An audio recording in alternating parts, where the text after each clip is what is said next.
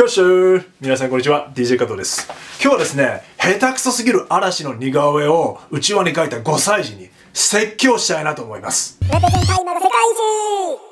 おい5歳児ちょっと来いこの野郎バカ野郎。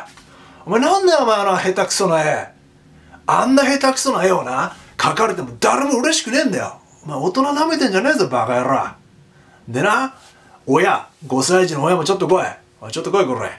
お前な下手くそな娘の絵をああやってソーシャルメディアにさ SNS 上に載せたらお前の娘が恥かくだけなんだよ。かわいそうだろお前バカ野郎。分かってんのかお前。でおい嵐ちょっと来い。松潤二宮桜井相葉そして大馬くんちょっと来い。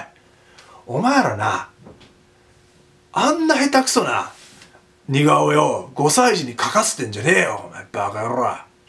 いいか直接会って5歳児に直接会ってちゃんとした絵を描き直させろ。